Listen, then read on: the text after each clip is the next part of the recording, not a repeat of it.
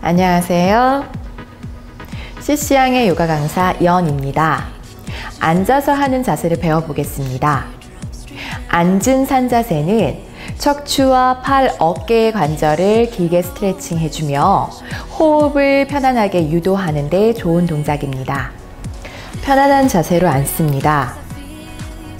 양손 끝을 지면에 부드럽게 놓으시며 숨을 들이마시면서 손끝을 천장으로 멀리 뻗어 깍지를 껴 후 손바닥이 천장을 바라볼 수 있도록 둡니다. 이때 어깨는 몸통 쪽으로 끌어당기고 숨을 들이마시면서 손바닥을 더 멀리 뻗어냅니다. 3회에서 5회 정도 복식 호흡을 하면서 기다려줍니다. 셋, 둘, 하나. 천천히 손끝을 지면으로 내려놓으시며 편안한 호흡을 반복합니다.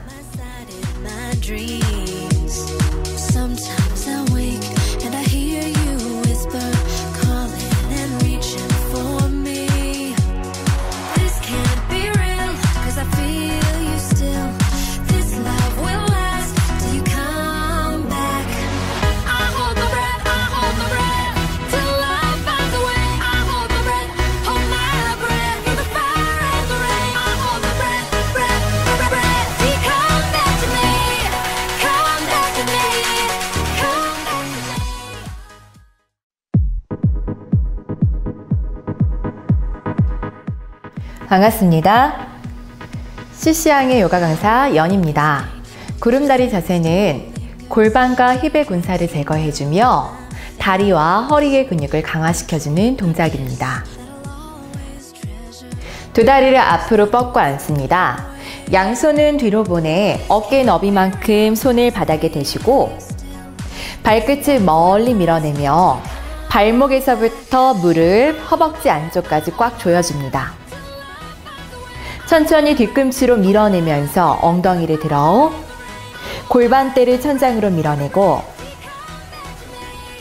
서서히 고개를 뒤쪽으로 툭 떨고 천장이나 뒷벽을 바라봅니다. 호흡을 합니다. 셋, 둘, 하나.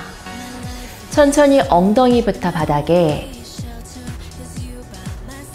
마시며 상체를 세우고 편안한 자세로 앉아 호흡을 정리합니다.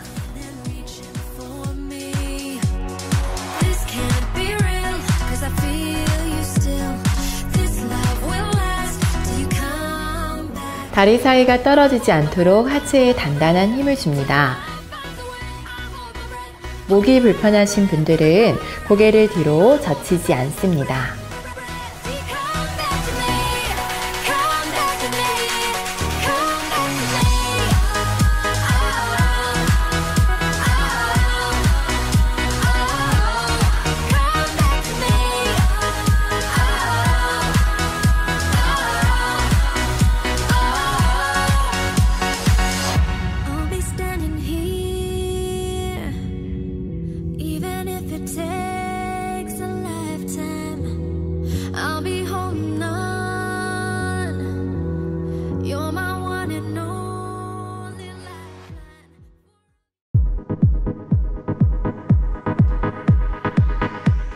반갑습니다.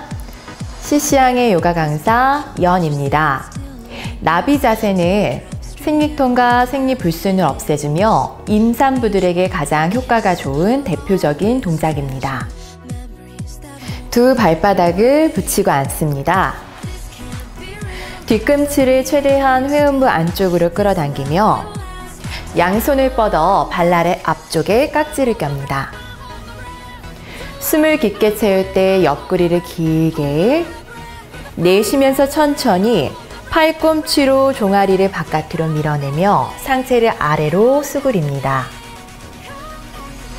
주의하실 점은 등이 동그랗게 말리지 않도록 척추를 곧게 세우고 여유가 되시는 분들은 조금씩 상체를 앞으로 기울여 편안한 상태에서 호흡을 합니다.